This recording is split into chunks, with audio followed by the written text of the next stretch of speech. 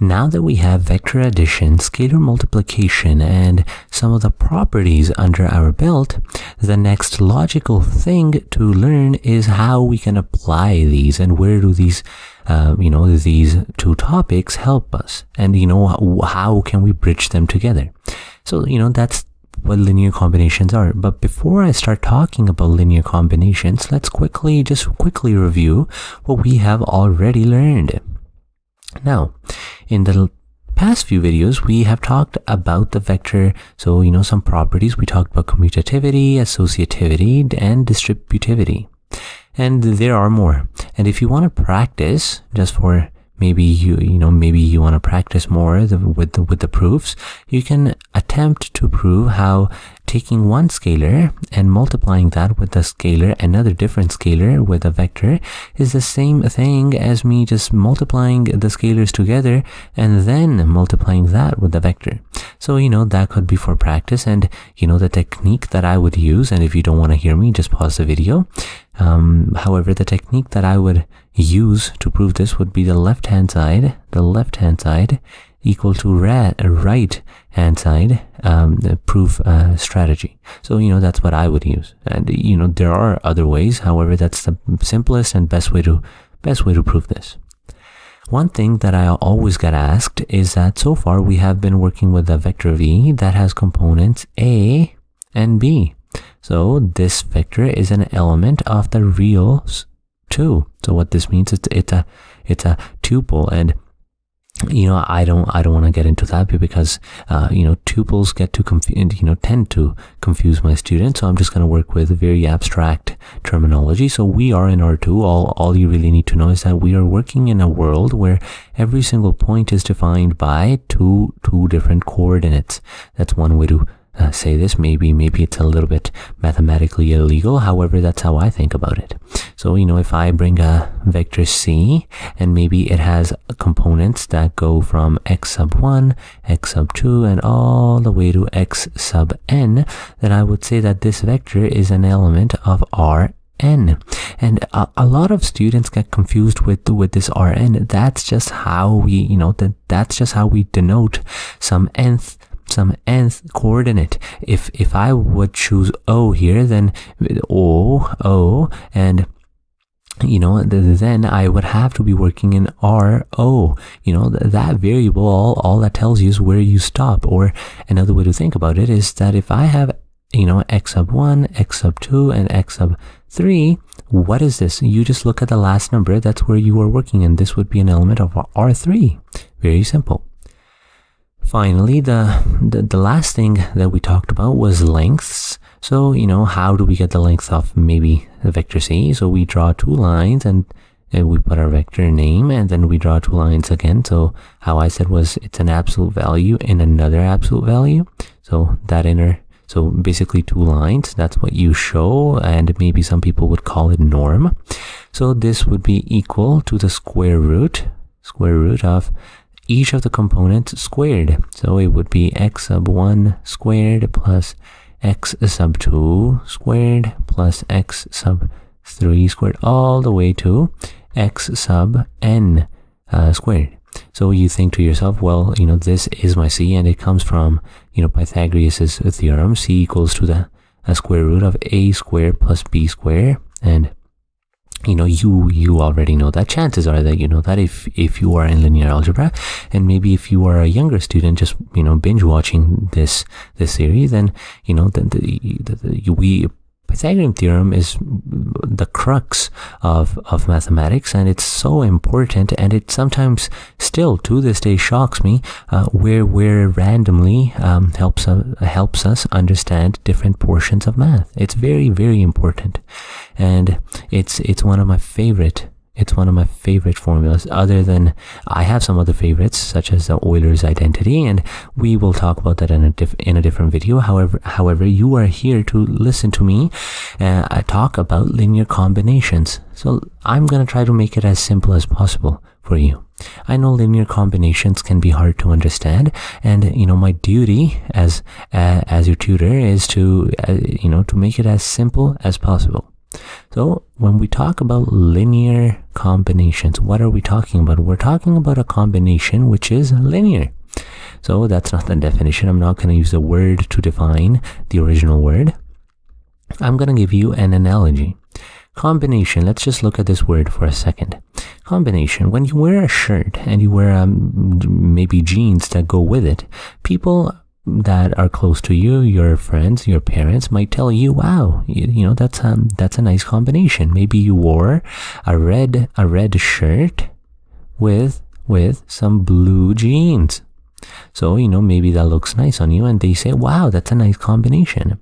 Now, you uh, we as linear algebra students what we will be doing is we will be combining two things that we have already learned and you know the only things that you should already know are our vector addition so v dot a vector addition and and scalar multiplication s dot m dot these are the two things that we already know, so you know it would make sense for us to just combine these. What what happens if if I combine this? So we'll talk about that in just a second. So let me just write that to you. So using this analogy, we will be working with combining vector vector addition vector addition with with scalar multiplication. So once we understand this, let's quickly talk about why we call it a linear combination. It's linear because maybe you, chances are that you have worked with quadratic functions and recall that those are maybe 0 equals 5x squared plus 3x plus 2. So, so the only linear part in in this would be would be maybe this and maybe even this. This is not linear. This would not be linear. The reason why this is not linear, it's because you're squaring it. We in linear algebra, the, the reason why it's called linear, it's is is because we are not allowed to work with squared or cubed or fourth or you know I think it's called quartic functions. It's it's just simple functions with with just simple uh, you know some sort of uh, variable and some sort of number, and we will uh, dive deeper into this when we talk about systems of linear equations. However, for now, you are here to learn about linear combinations. So let's just go through what we have talked about. Vector addition. Okay, to make it really, really abstract, what does it mean to be, you know, adding vectors? Well, well, you know, adding vectors would just be, okay, so if I take a vector and maybe I call it vector v sub 1, then I just add it to another vector, v sub 2. And, you know, maybe, for, maybe I keep going, maybe for some reason I just keep going, maybe I stop at v, v, the vector v sub 3.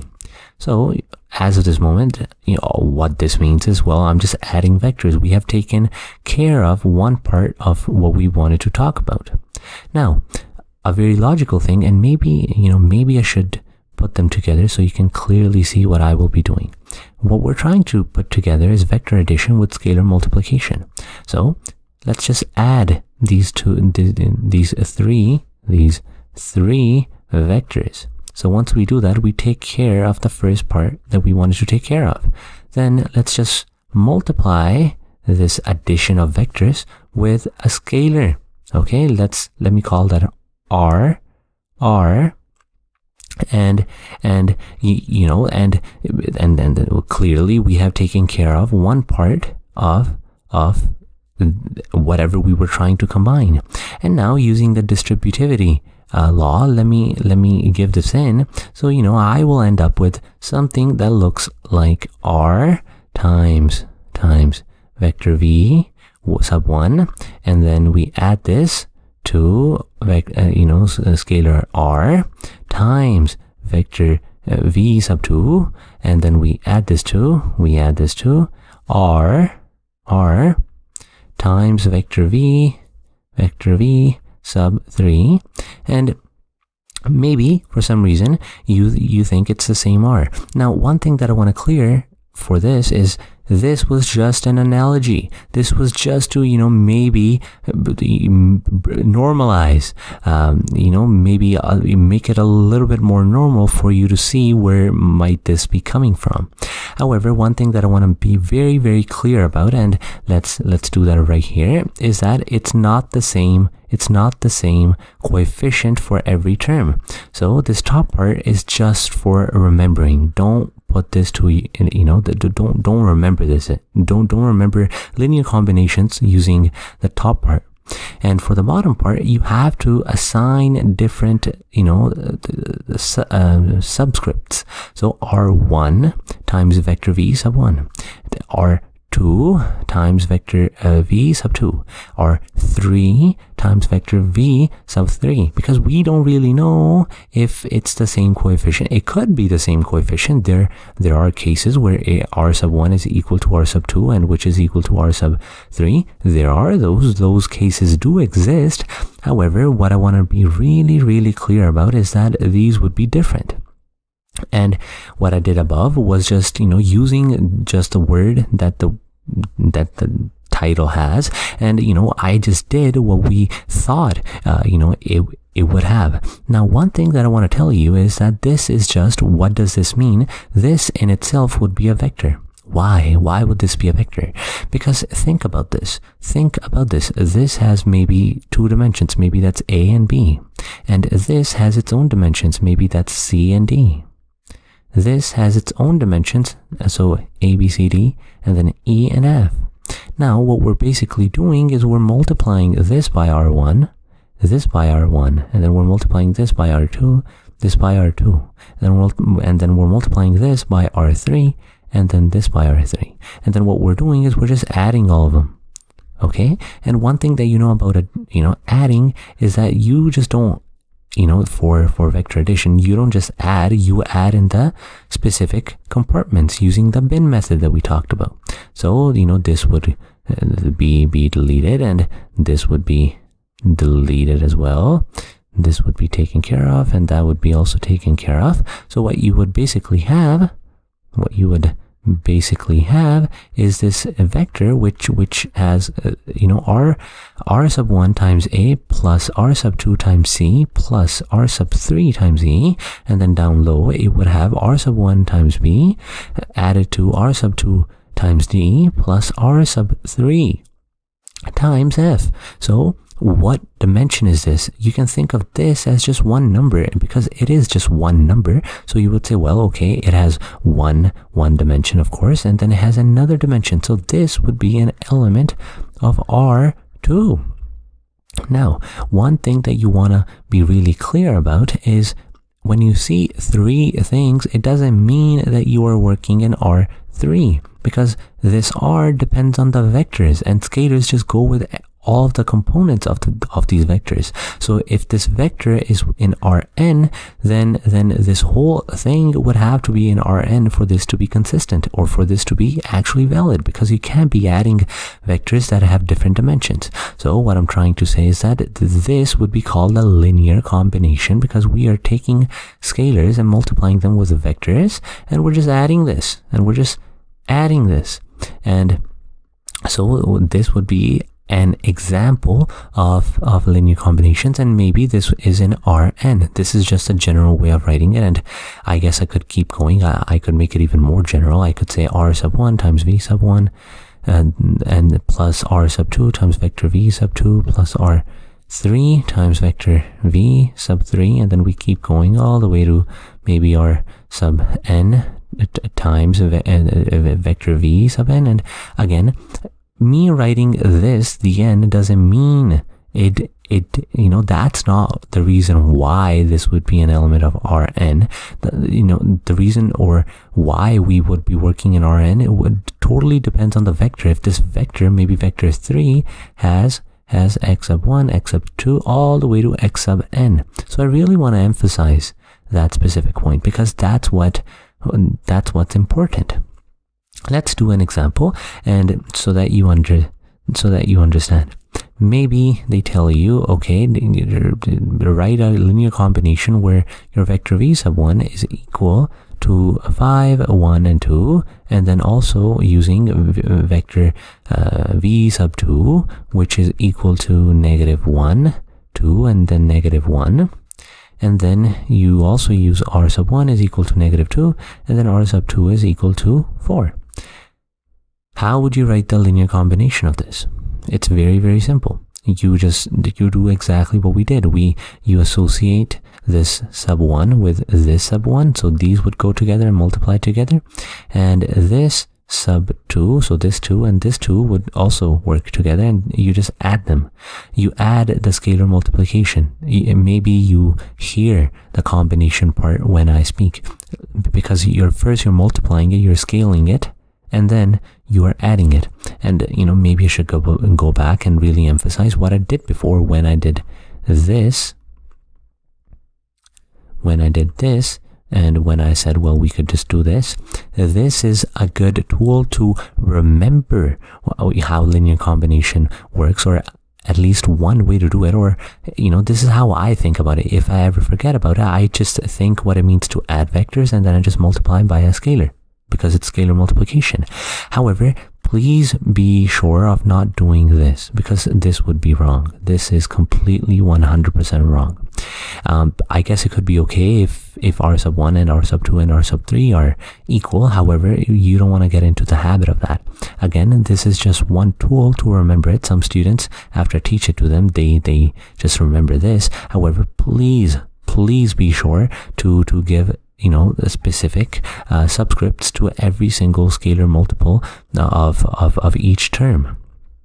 So for this, we would have R1 times V1 and plus R2 times V2. This is a linear combination given the given the information that we have. So we use this. So R1 would be negative 2. V1 is this. So 5, 1, 2 we add this to we add this to r2 r2 is 4 and which is being multiplied with v2 v2 is that so it's negative 1 2 negative 1 once you have this you can give this scalar to all of the components of each of these vectors. So that would be equal to negative negative 2 times 5 then negative 2 times 1 negative 2 times 2 and you add this and you add this to 4 times negative 1, then 4 times 2, and then 4 times times negative 1 times negative 1, and then you just I guess you could also do it independently and then add them, or how I, or well, how some people do it is um, they just take, you know, just rewrite it with. So I'm I'm running out of space. That's why I'm just erasing a bracket. However, you are supposed to rewrite it, and they just and they just do this. So so, and then you would have to assign the plus sign for all of them. So plus, plus, plus. This would be something that I would have written there, but I don't have space. So this would be negative, negative 10. So you would have negative 10 and then plus negative 4, so minus 4. So negative 2, negative 2 plus 8, negative 4 plus, so that's a plus times plus negative, so minus 4 so what you have is a negative 14, and then you have 8 minus 2 is 6, and then we have negative 8. So that would be your linear combination with, with the vectors given to us. So one thing that I want to one one piece of terminology is that you know given that we have so maybe w is a you know the collection or the result of the linear combination of vectors uh, v sub 1 and v sub 2 so that would be r sub 1 times v sub 1 plus r sub 2 times v sub 2 so one piece of terminology is that in the linear combination of v so th th this is how we read this. This would be the linear combination of of v sub 1 and v sub 2 that's how we read this. This statement is read this so w is the linear, so L dot C, the linear combination of vectors 1 and vector 2. That's how we read this. Here, r sub 1 and r sub 2 are called the coordinates of the vector v or, or the vector w. So I should probably put an arrow. Sorry, I forgot that because this is still a vector. It doesn't become a scalar. So r sub 1 and r sub 2 are called the coordinates. These, so r sub 1 and r sub 2 are called, are the coordinates. Coordinates, coordinates of the vector w with respect to, with respect to vectors 1 and vector 2. This is very important. Make sure you know this. So again, r r sub 1 and r sub 2 are called the coordinates of vector w with respect to vector 1 and vector 2. This is important in the so you know that's all i had to really tell you about the linear combinations. This will get harder. However that's all you really needed to know for the initial part. They just give you a bunch of vectors and then you put coordinates uh, in front of them which are r sub 1 r sub 2 and then add together that makes one linear combination and that's what our w our vector w is denoting um, that's all I had to say for this video. I really hope that this video was helpful and uh, in the next video I will teach you what the standard vectors uh, in, in Rn uh, are and what they look like. So I will see you in the next video.